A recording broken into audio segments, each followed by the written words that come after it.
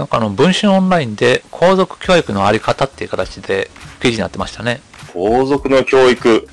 これ難しいでしょうね、でも、正直。そうですね。ね、皇族の人っていうのがこの人だけですから、はいはいはい そのどうやって教育していったらいいかなんてデータがなかなかね、そうですね。一応なんか世論調査では、まあちょうどね、女性天皇に関する調査が行われて、はい。まああの85%は、まあ女性天皇容認というかね、まあ一応なんかどちらかといえば賛成とかも含んだら、まあ容認派の方が多かったみたいですけども、はい。まあ、ただね、この小室さんとかの例を見てみると、ちょっとまずいんじゃないかなと思いますけどね。そうですね。実はまあ小室さんと眞子さまの間にできた子供が天皇になる可能性も出てくるしね。はいはいはい。確かに。ちょっとね、この辺がなんか育て方間違えたなっていうのが、大学がなんかその、国際キリスト教大学ですかね。はい。まあ普通であれば学習院大学とかに通わすんですけども、まあその辺で、まあ甘やかして国際キリスト教大学に行かしたんちゃうかってところでね。若干自由に育ててる方針なんですかね、いわゆる。まあ基本的にここに行きなさいっていうのはないんでしょうけども、まあ基本的にはみんなここ通ってるし、まあここの方がね、一応管理が行き届くというかね、あの、まあ警備というか、まあそういった面で、もう今までずっとここを会話してきたから、まあ天皇家というかね、うん。まあ皇室はこの辺を普段選んでるから、もう教育に関してはここ行っとけば、もうしっかりと見てくれるしってところでね、まあ警備とかもあなるほどれなんでしょうけど、ただその、あまり目の行き届かないところの大学に行ってしまったから、まあ変な人を捕まえたというかね、確かに。変な人捕まえちゃいましたね。そうですね。うん。なんかだって、小室さんのもうちょい若い時の何年か前の、はいはい。ちょっとヤンキーじゃないけど、なんか変な写真とかも出てきてますもんね。女の人と写ってて、変な感じで。そうですね。うんギャルみたいな女の子と写ってて。はいはい。なんかあんまり良くないんじゃないかと、こう、素性が。はいはいはい。まあこれがどうなるかですね。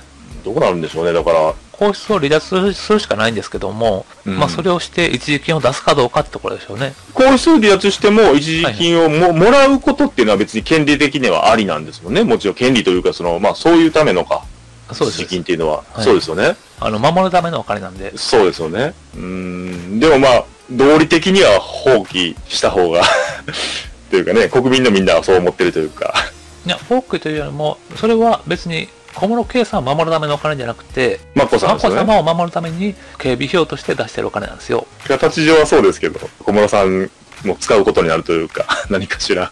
まあ使うでしょうけど、ただその、まあ警備なしで生きろっていうのもなんか天皇家のね、あの、皇族の娘さんを身の危険にさらしていいのかってところがあるんで、まあそれは出すべきだと思いますけどね。そのまあ眞子様が結婚するんであれば、まあ実際その皇室の方っていうのが一生まあ、眞子さんには付きまとうから、はいはい。まあいわゆる有名税みたいなもんで有名人の、なんかそういうね、1億5千万ぐらいはまあいいんじゃないかっていう話がね、声はね、多いのは多いですけどね、確かに。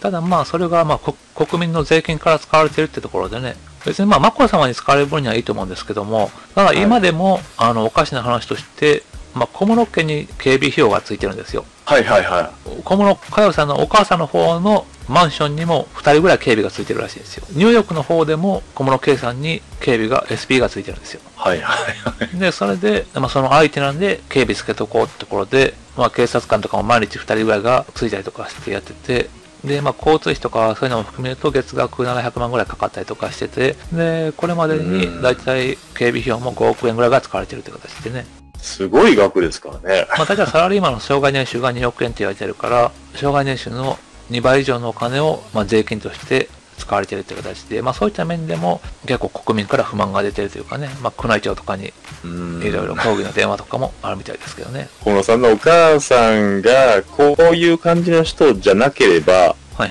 こんな話じゃなってないんですかね。そうですね。まあ、お母さんが一番問題ですね。そうですよね。でも、そのお母さんにだけで育てられた子供なんでね、余計に、パザコンでしょうね。そうですね。なんか手繋いだりとかしてるみたいだし、なんか別れたらいいのにねと思っちゃいますね、本当に。まあ、結局小室さんもお金だけが目当てなんでしょうし、まあ変な話、ドンファンのあ 話じゃないけど、お金目当てのみたいなところもちょっと絶対ありますからね。まあ、この辺がね、難しいところでしょうね。だから30歳までに結婚したいから、10月ぐらいまでに結婚説があるんですかね。いや、10月結婚は難しいでしょうね。この状況で。今の流れじゃうんいくら皇室離脱したにしても難しいでしょうね。だから10月であの結婚であれば、もうニューヨーク行きが決定ですからね、眞子さまも。試験があるんですかね？あの、小室さんの。ああ、そうですね。まあ、その試験が、そうか、試験が通らなかったらどうなんだろうね。通らなかったら、まあ、無職で日本に帰ってくるのか。それで余計なんか叩かれそうですよね。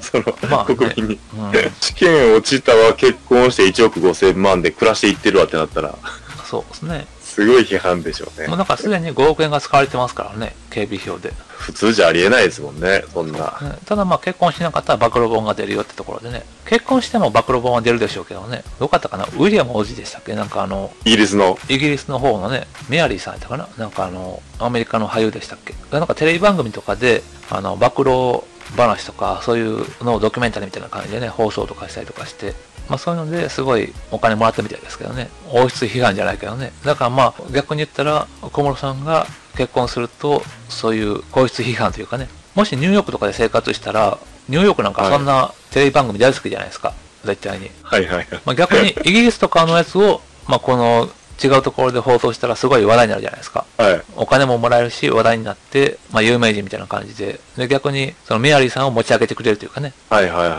はい。逆にこの小室圭さんを持ち上げてくれて、いろいろと皇室を批判できるというかね、え、でも、マコ様があんまり気分良くないんじゃないですか、それでも、やっぱり。どうですかね。出せます？もう小室さん日本帰ってこれないですよ。もういや、帰ってくる気ないでしょ、逆に。ああ、もうずっと逃亡。だってもう結婚するにしてもしなくても、日本に帰ってきて得することないでしょ。まあ確かにね、こんだけニュースになったらもう、まあちょっとね、この辺はどういうふうに関したのか、よかったらコメントもらえたら嬉しいですね。そうですね。ぜひコメントください。よあとチャンネル登録もあるし、登録の方もお願いします。ろしくお願いします。